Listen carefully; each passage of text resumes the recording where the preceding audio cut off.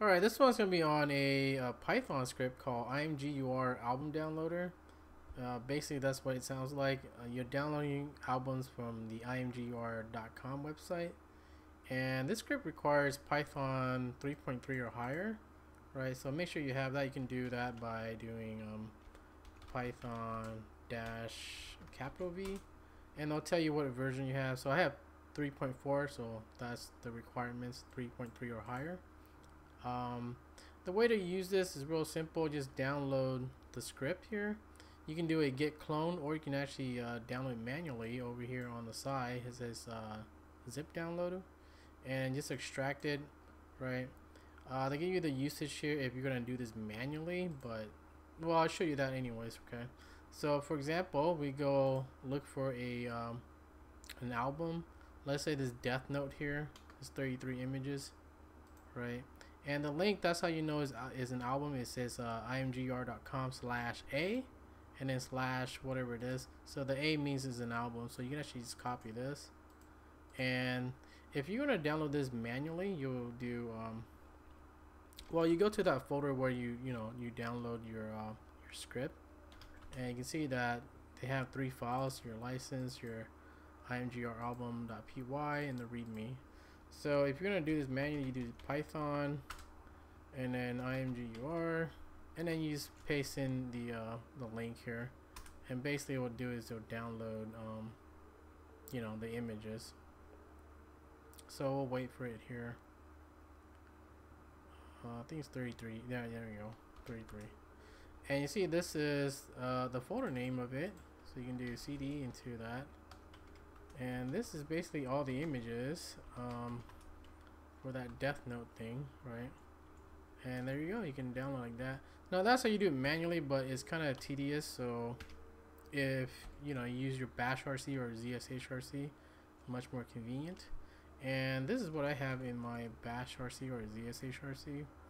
Uh, we're just gonna you know give it a function name, and then we're gonna do Python and the path of that. Uh, our script and then our argument whatever it is.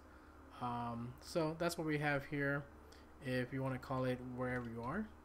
So for example uh, let's say get another one. What's another one? This one 16 images here Claymore.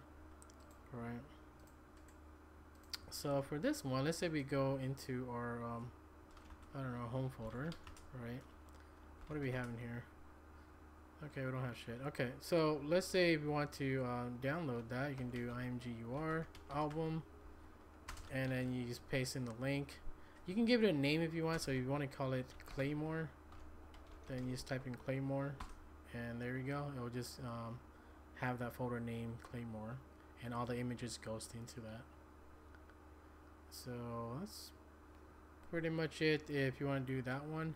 And the last one is actually something I um, created uh, just now.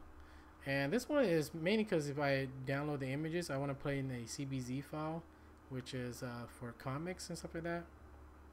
So that's what this uh, function here does.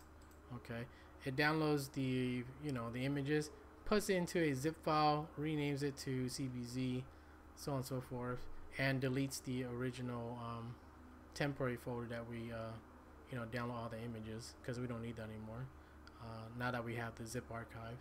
So demonstrating this one out too okay? Uh, let's go back to this one here.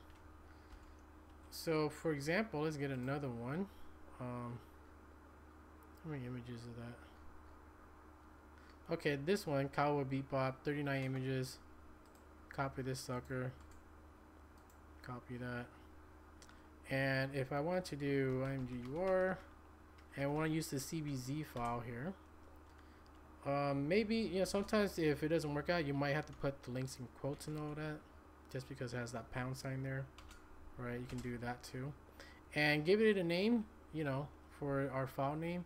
This one was Cowboy Bebop, so we'll just call it Cowboy, right? And basically what it's going to do is download it, um, I usually like to save it to the temp folder because I don't need any shit in the temp folder.